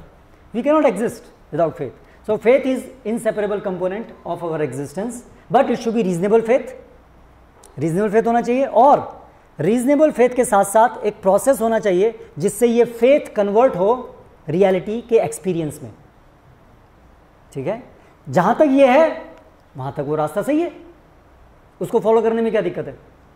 ठीक है? That is the shastra process reasonable faith process given उस प्रोसेस में आप बढ़ते जाइए स्टेजेस हैं, आप उसका एक्सपीरियंस करते जाइए कि इस स्टेज का ये परिणाम, इस स्टेज का ये you are experiencing so you can go at with the faith मैं ऐसे बढ़ता जाऊँगा तो जो फाइनल स्टेज का जो रिज़ल्ट बताया गया है, मैं उसको भी प्राप्त करूँगा। ठीक है? अभी हम लोग ये शास्त्र भारत में लेके चल रहे हैं। अभी चंद्रयान चला गया। ठीक है? या नील एमस्ट्रॉन्ग वहाँ पहुँच गए, उतर गए। ऐसा हमें दिखाया गया, बताया जो भी है। अभी प्रश्न उठता है कि भाई, हम तो इस रास्ते पे चल रहे थे शास्त्रों में। आप लोग मंदिर आते हैं, आप लोगों की कुछ श्रद्धा है, भगवान आप ये कुछ मानते हैं, तभी तो मंदिर आते हैं आप लोग। ठीक है? नास्तिक लोग तो इस तरह से हाँ कुछ आर्किटेक्ट देखने के लिए, कुछ देखने के लिए आ सकते हैं, लेकिन श्रद्धा से तो नहीं आएँगे। ठीक है? तो अभी आप लोग आ रहे हैं, और अभी यहाँ पर साइंटिस्ट ने ये कर दिया, साइंटिस्ट ने वो कर दिया, है ना? तो अब आप, हमारे सामने प्रश्न उठता है तो फिर शास्त्र में तो ये लिखा है, और साइंटिस्ट तो ये कर रहे हैं। तो अभी जब कॉन्ट्रडिक्शन होगा हमारे प्रत्यक्ष प्रमाण में, और जो शास्त्र कहते हैं तो हमें क्या करना चाहिए? ये प्रश्न है। ठीक है? जो प्रश्न अभी खड़ा हुआ है। ठीक है? चंद्रयान वहाँ गया, या जो भी आज तक चंद्रमा पे गए। और शास्त्र में गया पुण्य शायद लोग जाने चाहिए। तो कॉन्ट्रडिक्शन हो गया। तो वहाँ से फिर प्रश्न उठता है, ऐसी स्थिति में क्या करें जब कॉन्ट्रडिक्शन हो? ठीक है? तो पहली बात, आप में से कौन चंद्रयान में बैठा था? कोई भी नहीं बैठा था। है ना? आप नहीं बैठे थे, वो भी नहीं बैठे थे। ठीक है? नील स्ट्रॉम के साथ में आप में से कौन था? कोई भी नहीं था। ठीक है? तो पहली बात तो ये पूरी चीज़ अल्टीमेटली कहीं ना कहीं आपको भी तो फेथ के ऊपर ही तो आप एक्सेप्ट कर रहे हो। आप में से खुद पर्सनली तो कोई गया नहीं। आपने पर्सनली अपनी इंद्रियों से वो चीज़ अनुभव नहीं की है। करीबी होगी तो भी वो गलत हो सकती है। लेकिन यहाँ तो हम और दूर बैठे हैं। आपकी इंद्रिय, आप किसी और की इंद्रिय है और वो आपको बोल रहा है, मैंने ऐसा ऐसा किया और आप उस पर विश्वास कर रहे हैं। तो एक बहुत बड़ा प्रश्न है कि वो कितने विश्वसनीय हैं? वो कितने ऑनेस्ट लोग हैं? उनके अन्य कोई हेतु तो नहीं है जीवन में। आज तक उन्होंने जो भी चीज़ बताई हैं, सब सब सही सही हुई हैं, कभी चेंज करने की ज़रूरत नहीं पड़ी है। एक तो लॉयल्टी का प्रश्न है ऑनेस्टी का प्रश्न है, और दूसरा प्रश्न है गलती का मिस्टेक्स का। ठीक है? जो कि साइंस में अमटीन नंबर ऑफ़ टाइम्स हमने गलतियाँ की हैं और उसको सुधारा है। सुधारा है मतलब हमें पता चला कि गलत था जो हम सोच रहे थे। जो हम, जिसको हम समझ रहे थे कि ये प्रूव है, वो गलत हुआ। प्लानट के प्लानट गायब हो गए। छोटा सा आपका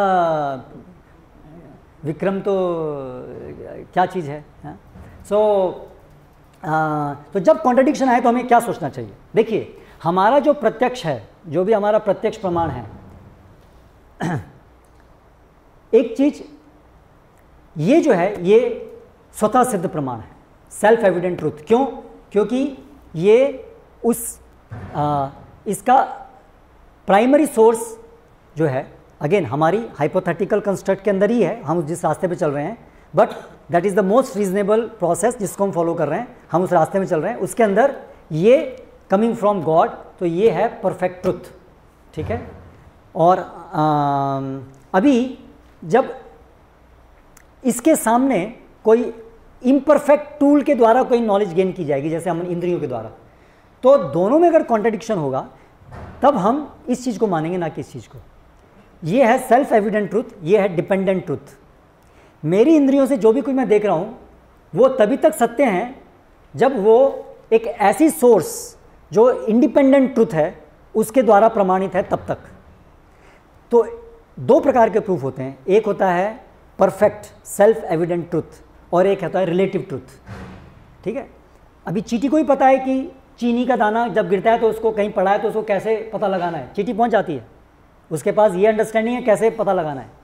तो यस लेकिन ये दाना के बारे में उसको बहुत सारा संशय भी बहुत सारी चीज़ अलग अलग बहुत सारी चीज़ उसको नहीं पता होंगी। कैन बी कन्फ्यूज़ ऑल्सो आप ऐसी बहुत सारी चीज़ होती है। मनुष्य जो है वो जानवरों को कैसे पकड़ता है उनको भ्रमित करता है ना। है ना? हाथी को हिरण को बांसुरी बजा करके। सो so, सब ऐसे भ्रमित हो सकते हैं करेक्ट तो उसी प्रकार से आप उनको भ्रमित कर सकते हैं ठीक है? आ, तो इसीलिए हम भी भ्रमित हो सकते हैं। इसलिए अगर कॉन्ट्रडिक्शन है तो हमें समझना है कि ये हमारा, ये तो भ्रमित होने के पूरे चांसेस हैं, क्योंकि हमारा सेंस परसेप्शन इम्परफेक्ट है। तो अगर दोनों चीज़ में कॉन्ट्रडिक्शन होगा तो this is what is more reliable अगर जो भी हम देख रहे हैं, जो भी हम कर रहे हैं, वो शास्त्रों में भी लिखा हुआ है देन इट इज़ ओके लेकिन अगर कॉन्ट्रडिक्शन है तो ये चीज़ तो इम्परफेक्ट होने के पूरे चांसेस हैं। इम्परफेक्ट है, इसलिए गलत होने के पूरे चांसेस हैं, है ना? तो इसीलिए कॉन्ट्रडिक्शन होने पर this is truth today we are not able to understand what what is happening बहुत सारे ऑप्शन बहुत सारी चीज़ हो सकती हैं। हम कहाँ जा रहे हैं? It is not so easy जब आप कॉस्मोलॉजी में जाएँगे इतना आसान नहीं है कि बस आप जैसे आपको यहाँ दिख रहा है ऐसा रॉकेट नहीं है सीधा कि यहाँ से बजाय दिख रहा है आपको गया है वहाँ टच हो गया। It is not like that so simple बहुत सारे चक्कर लगा के बहुत बहुत जगह जाना पड़ता है। इतना सिंपल नहीं जितना हमें यहाँ से दिख रहा है। ठीक है? तो बहुत सारी पॉसिबिलिटीज़ हैं। है ना? हम कहाँ गए हैं? और अल्टीमेटली uh, इवन ऐसा भी है शास्त्रों में देखते हैं ऐसे लोग भी हायर प्लैनेट्स में जाते हैं जो पुण्यशाली नहीं हैं। ये भी एक पॉसिबिलिटी है। ये भी एक पॉसिबिलिटी है। लेकिन जाने का उद्देश्य क्या है वहाँ? कहीं भी हम जाना चाहते हैं, क्यों जाना चाहते हैं अल्टीमेटली एक तो है नॉलेज गेन करने के लिए। What is what to know perfectly everything और दूसरा है टू बी हैप्पी ये तो हमारी अल्टीमेट इच्छा है ना? ठीक है। तो अभी चंद्रमा पे जाकर हम हैप्पी हो जाएँगे? इस प्रश्न का क्या उत्तर है? इस पृथ्वी पर हैप्पी हो गए? इतनी सारी जो खोज कर रहे हैं, उससे हम बहुत, हमारे आनंद में बहुत वर्धन हो रहा है। बड़ी बड़ी समस्याएँ और जल्दी सामने आ रही हैं। हमारी साइंस के द्वारा हम ऐसी ऐसी चीज़ कर रहे हैं, जिससे हमारा पूरा एनवायरनमेंट ही खतरे में पड़ रहा है। है ना? ठीक है? तो हम अपनी उसी सोच के अनुसार ग्रीड और हवस के अनुसार, अभी हम दूसरे प्लैनेट्स पे भी जाएँगे। तो सुख प्राप्त होगा, इसकी क्या वो चीज़ है है ना? तो इसलिए जो अल्टीमेट पर्पज़ है, क्या हमारा मनुष्य जीवन का जो वास्तविक पर्पज़ है, क्या वो उससे सॉल्व हो रहा है? और कितने करोड़ों करोड़ रुपए उसके अंदर लगते हैं करेक्ट लास्ट टाइम जो भेजा था उसमें थाउज़ेंड वॉट वॉज़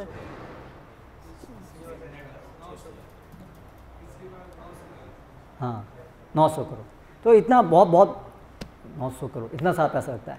और उसमें भी कह रहे हैं हाँ चंद्रयान ने अपना मिशन कर लिया पूरा। उसने वहाँ पर जा के केमिकल्स को एनालाइज किया, उसमें सीजियम ये मिला है, क्या है?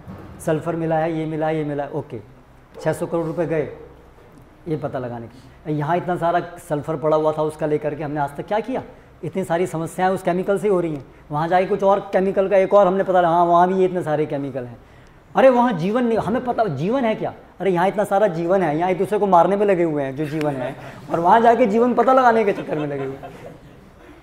यहाँ से संतुष्टि नहीं है मारने से, इतने इतने यहाँ पर लोगों को मारने से अभी तक संतुष्टि नहीं मिली, नहीं, वहाँ जाके ढूंढना है कौन उसको मारेंगे जाकर के। So soberly we also have to think कि ultimately ultimately what are we going to gain by that ये भी एक बड़ा प्रश्न है। तो ठीक है ऐसे हिस्ट्री में भी ऐसे लोग हुए हैं, रावण हुआ है, जिसने चंद्रमा पे जाने के लिए यांत्रिक तरीके से जाने का प्रयास किया था। और ऐसे हिरण्य कश्यप ऐसे लोग हुए हैं जिन्होंने देवताओं को भी हटा दिया था वहाँ से, है ना? पुण्यशाल, जो पुण्य लोग करके गए थे, उनको हटा दिया था। खुद राजा बन गए थे लेकिन कब तक? थोड़े समय के परास्त हो गए। तो यस प्रकृति के ऊपर कुछ हद तक उसको डिस्टर्ब करने की क्षमता हमारे अंदर दी जाती है। जैसे गाय खूटे से बंधी है, उसकी रस्सी जितनी है, उसके अंदर घूम सकती है। तो ऐसे हम लोगों के अंदर, अपनी अलग अलग कैपेसिटी के अंदर कुछ हद तक प्रकृति के विरुद्ध जाने की, जैसे हम प्रयास कर ही रहे हैं प्रकृति के विरुद्ध जाने का अलग अलग प्रकार से। लेकिन, हम भगवान नहीं हैं, हम भगवान कभी बन नहीं सकते हैं। इसलिए, अगर हम करते हैं तो उसका पनिशमेंट मिलता है फिर, जो हमें मिल रहा है, प्रकृति से विरुद्ध जाने का। तो महत्वपूर्ण बात ये सोचने की है कि ये जो पूरी तरीका है, जो हमारा, वो एक रिबेलियस तरीका है, कि हमें स्वीकार नहीं करना है भाई भगवान हम तो अपने तरीके चलेंगे और हम अपने तरीके से काबू करेंगे पूरा सृष्टि के ऊपर। और किस लिए? उसका खूब एंजॉय करने के लिए एक्सप्लॉइट करने के लिए, है ना? Greed again the same mentality is continue तो ग्रीड से तो कभी कोई आदमी संतुष्ट कभी नहीं होता है। चाहे उसको आप हज़ार चंद्रमा दे दीजिए, तब भी जाकर के वो संतुष्ट नहीं होगा। एक चंद्रमा की तो बात क्या कर रहे हैं आप? ठीक है? तो इसलिए केवल यहाँ पर प्रश्न ये नहीं है कि हम वहाँ गए कि नहीं गए। वो भी एक प्रश्न है, लेकिन वो इम्परफेक्ट सेंसेस भी हैं और हो सकता है कि वहाँ गए भी हों। लेकिन एनी वे जा कर के जो पर्पज़ था, जो यहाँ वर्णन है कि वहाँ लाइफ स्टाइल बहुत ऊँचा है, इतना दैट तो कोई भी वहाँ अनुभव नहीं कर रहा है। तो पर्पज़ तो कोई सॉल्व नहीं हो रहा है जो दिखाएगा। दुखी दुख है वहाँ पर, रेत है, वहाँ ये है that's all they are finding out so वो एक केमिकल लाने के लिए इतना करोड़ रुपए खर्च करना, इतना टाइम बर्बाद करना, है ना? तो इससे केवल ये छोटे छोटे प्रश्न ही है, बल्कि बहुत गहरे प्रश्न हैं कि क्या वास्तव में इस प्रकार से अन्य ग्रहों की हम यात्रा करें, वहाँ जाएँ, ये बहुत ही जगत अनंत है। आप कोई भी एक स्ट्रीम ले लीजिए, आप उसको खोजते रहिए खोजते रहिए खोजते रहिए, उसका एंड नहीं है। आप जानते हैं ना इस बात को? कोई भी ब्रांच ले लीजिए आप। एक मच्छर की अगर आप स्टडी करेंगे ना तो उसका अंत नहीं है मच्छर की स्टडी करने का। क्योंकि मच्छर के अंदर भी क्रोमोसोम है। ठीक है? हो गई बस ख़त्म कहानी। तो पॉइंट ये है कि क्या ये राइट right डायरेक्शन है कि हम इस संसार को परफेक्टली समझना चाहते हैं? Is it really the right direction हमें ऐसा समझना चाहिए संसार को, जिससे हमारी जो रियल आवश्यकता है, नित्य जीवन, ठीक है? हमारी नित्य सुख, और इसके इस, इसको देने वाला ज्ञान परफेक्ट नॉलेज वो हमें मिल सके। तो आ, आप ये जो शास्त्र हैं इसका जो तरीका है अभी ऐसे कंपेयर कीजिए। And then you will see कि which is more reasonable which should be followed Hare Krishna. इस पर और बहुत सी चर्चा होती है लेकिन अभी समय नहीं है तो कभी और आगे और कुछ चर्चा करेंगे। टाइम तो हो गया क्या करेंगे? कुछ प्रश्न लेंगे या टू लेट नाउ है ना? ओके कोई प्रश्न? यस. मेरा ये प्रश्न था कि जैसे कि शास्त्रों में क्या मेंशन है कि पास्ट पहले के लोग पास्ट टाइम में ट्रेवल करते थे या फ्यूचर में? फ्यूचर में तो सुना हुआ है, लेकिन पास्ट में ऐसा होता था कि लोग पहले टाइम में जाके कुछ चीज़ें सीखते हैं और मेरा सेकंड प्रश्न ये था कि जैसे कि कल ही मेरे एक दोस्त से बातचीत हो रही थी तो वो शिव जी का डिवोटी तो मनमोहिनी और शिव जी का जो था भागवतम में जो मैंशन है तो उसको एक्सेप्ट नहीं कर रहा था। वो बोला था कि जो हमारे स्क्रिप्चर है, बहुत टाइम से आते जा रहे हैं। जैसे कि Shri Krishna to Brahma Brahma to Narad Narad to Veer Vyas और इस तरह से प्रभुपाद जी ने भगवदगीता आते गया है। तो उसका ये कहना है कि जो लॉर्ड मैकले था, उसने भी एक लेटर लिखा था कि जिसमें उसने हमारे स्क्रिप्चर जो थे उसको चेंजेस करने की बात की थी कि अगर इनको अगर बहकाना है तो स्क्रिप्चर में चेंज करो। तो ऐसा क्या पॉसिबल है कि हमारे स्ट्रक्चर में चेंजेस अब हुए होंगे? हम्म। बहुत टाइम से आते हैं। ओके तो पहले वाला प्रश्न क्या था? कि पास एंड फ्यूचर ओके तो इस भौतिक जगत के अंदर समय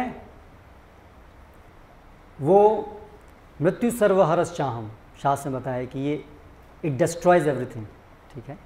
और समय जो एक बार बीत गया we cannot get it back ठीक है? हाँ समय साइक्लिक है।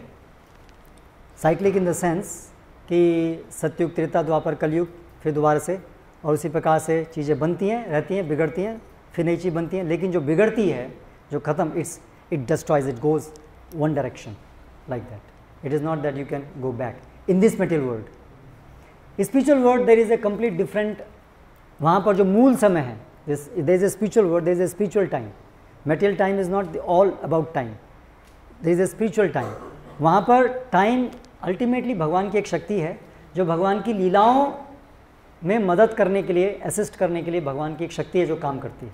तो वहाँ पर time is whatever is favourable for Krishna's enjoyment time arrange is that so actually time is ultimately a servant of God इस भौतिक जगत में टाइम के द्वारा भगवान सृजन करते हैं, प्रलय करते हैं, सृजन करते हैं, प्रलय करते हैं।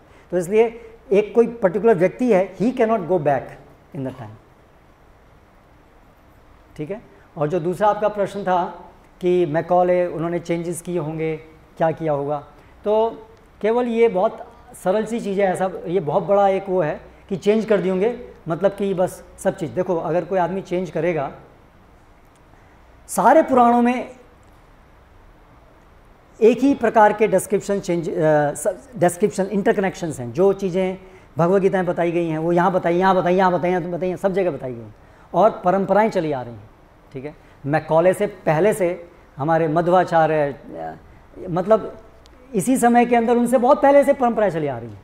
वो परंपराओं के अंदर ज्ञान चला रहा है एज इट इज़ मठ हैं जो आ, अंग्रेज़ों के आने से पहले से उपस्थित हैं है ना? और वो वहाँ से ज्ञान परंपरा से चला आ रहा है। तो ऐसा नहीं है कि बस आज जो भी हमारे पास है वो अभी मैकॉले ने हमको दिया है। मैकॉले से पहले के परंपराएँ एज इट इज़ चली आ रही हैं। तो ये तो बहुत ही सुपरफिशियल कमेंट है कि बस आज जो भी वहाँ लिखा है वो सब तो बाद में लिख दिया है बस। It's a soft way of denying कि ये सब बेकार है। और कुछ? Okay okay?